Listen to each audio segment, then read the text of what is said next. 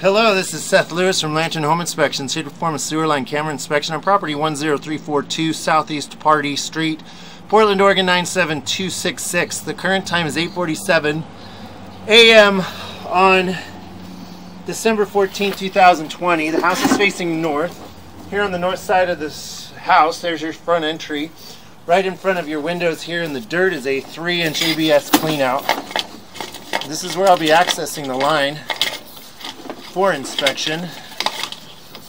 See I have the head of my camera downstream, facing downstream towards the main. I'm going to zero out my foot counter here and begin the scope.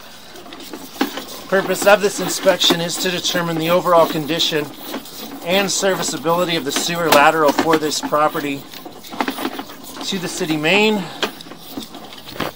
At 18 feet we have transition now from ABS to 3034. We should be seeing the main here soon.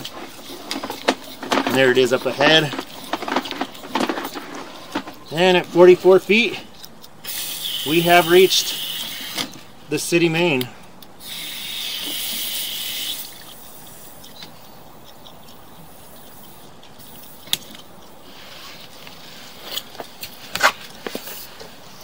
All right, I'm going to pull back the line from here.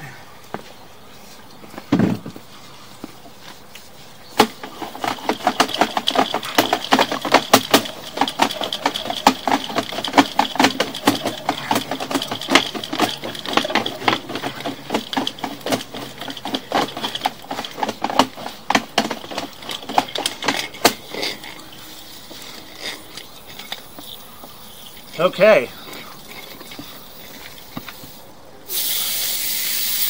So this concludes the sewer line camera inspection for this property.